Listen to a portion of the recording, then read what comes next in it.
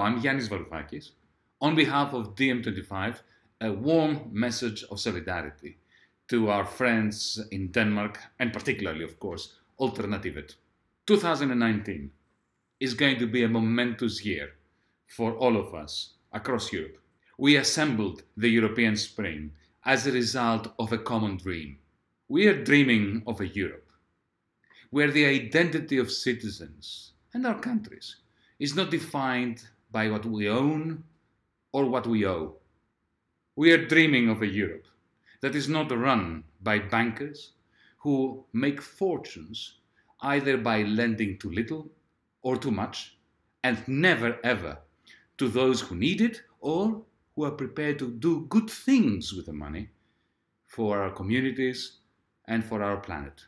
Friends, we created our electoral wing, the European Spring, not because we want to gain power, but to put on the agenda our Green New Deal for Europe. And the only way of seriously putting such a fantastic policy agenda, such a progressive policy agenda on the public records and incite Europeans to debate it is by taking it to polling stations across Europe. We don't crave to shape European societies ourselves. We just want to equip European citizens across Europe with the freedom and the tools necessary to do it for themselves. Our Green New Deal is the only antidote to the toxic dogma that in this Europe there can be no ecological, progressive, humanist, feminist alternative. We must create together this alternative future. And we must create this alternative future before we can believe in it. One step at a time.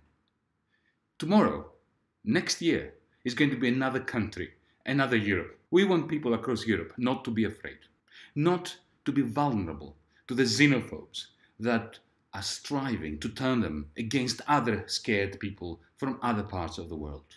That's what we at DiEM25 want the future to be. Our Green New Deal is going to be the first tentative step towards creating the stable, civilized Europe in which Europeans can at long last, for the first time, discuss how to create, for the first time, a properly democratic constitution and governance for this Europe of ours. Our Green New Deal has one intention. Our Green New Deal will pave the ground to convening a constitutional assembly process that for the first time in history is not going to be dominated by big business, banks, white men, colonizers, landowners, CEOs, or the independently wealthy.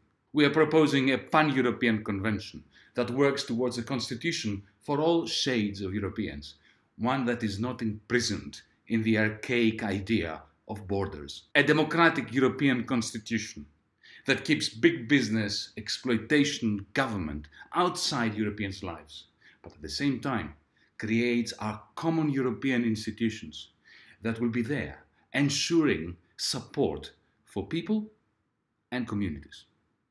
2019 is going to be a great challenge and a fantastic opportunity for progressives. Let's seize the day. Let's seize the year. Carpe diem.